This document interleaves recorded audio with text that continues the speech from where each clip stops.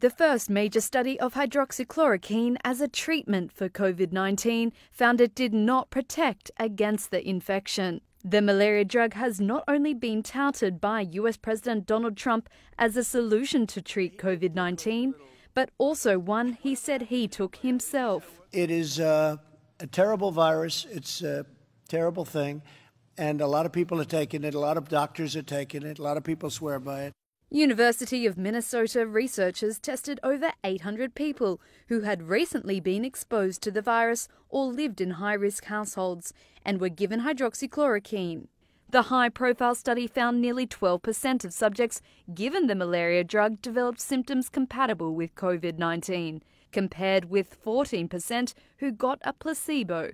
The results showed the drug was not only ineffective at preventing the coronavirus, but it was in fact no better than a placebo. The trial's lead researcher, Dr. David Boulware, said, quote, Our data is pretty clear that for the post exposure, this does not really work. The trial also found there were no serious side effects or heart problems from using the drug despite the US Food and Drug Administration cautioning in late April against the use of hydroxychloroquine in patients with heart disease.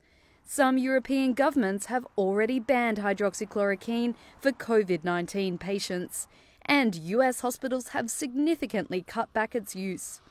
Vocal support from Trump kicked off a heated debate and raised expectations for the decades old drug that could be a cheap and widely available tool in fighting the pandemic that has infected more than 6 million people worldwide.